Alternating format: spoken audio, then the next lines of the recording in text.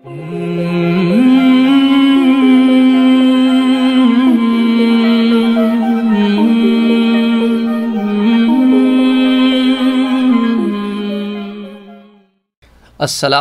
वरहमतुल्लाहि वबरकातुहू।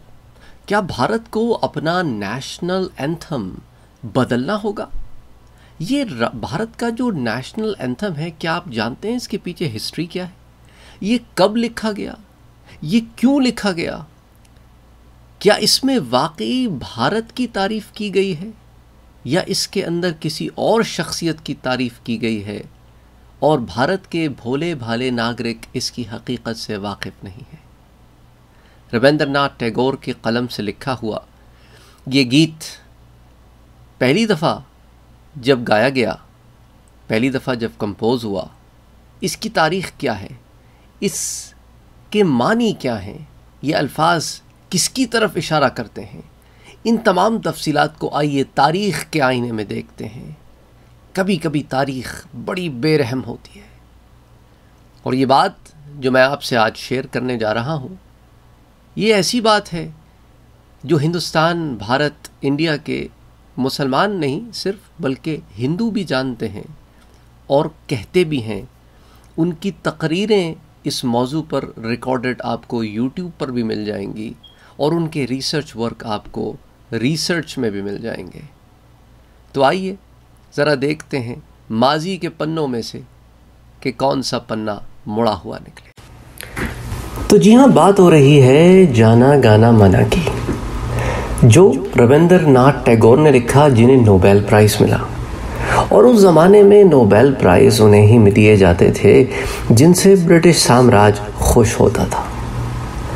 अजीब सी बात है, चंद साल पहले राजस्थान स्टेट के कल्याण सिंह, जो बीजेपी के लीडर थे, उन्होंने इस बात को एक दफ़ा फिर उछाला कि Nobel prize winner Rabindranath Tagore के कलम से लिखा हुआ, जाना गाना माना, दरअसल ब्रिटिश एम्पर की तारीफ़ में लिखा गया था कि जब George five, the only British emperor जब वो हिंदुस्तान आए तो उनकी तारीफ़ में लिखा हुआ ये गीत हिंदुस्तान का नेशनल एंथम बन गया। तो नेशनल एंथम से ज़्यादा ये ग़ुलामी का सबूत देता है।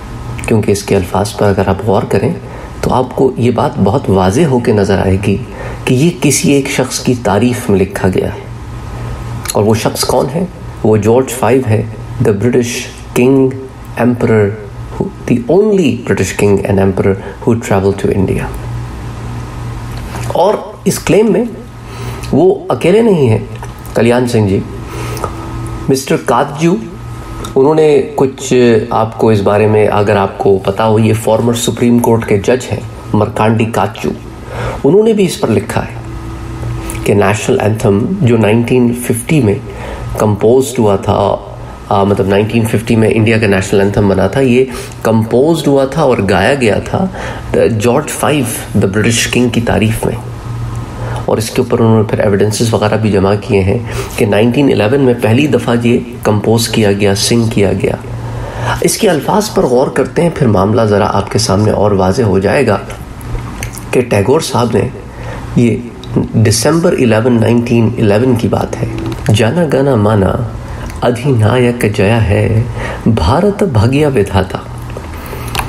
यानी कि एक रूलर से कहा जा रहा है कि तुम रूलर हो लोगों के दिमागों के माइंड्स ऑफ़ ऑल पीपल ये ट्रांसलेशन भी मौजूद है, ये मैंने नहीं बनाई। ये ट्रांसलेशन जो है जेम्स एच कज़न ने, जो आयरिश थे, उन्होंने इसकी ट्रांसलेशन लिखी है। और इसके musical notations for the English version जो है, ताकि इसको कंपोज किया जा सके, वो मार्गरेट उसने इसे कंपोज किया है। तो उसके अल्फाज हैं thou art the ruler of the minds of all people dispenser of India's destiny और उसके आगे सारे इलाकों के इंडिया के नाम जो लिए जा रहे हैं, उसके पीछे यही रीज़न है कि तुम बादशाह हो, तुम इंडिया के भाग्य लिखने वाले हो और उसके बाद इंडिया के तमाम इलाकों का ज़िक्र है। पंजाब, सिंध, गुजरात, मराठा, उड़ीसा, बंगाल हिमालय, मुख्तलिफ़ जगहों का नाम है। उसके बाद the pray for thy blessings and sings thy praise the celebration of all people is in thy hand ये किससे खिताब हो रहा है?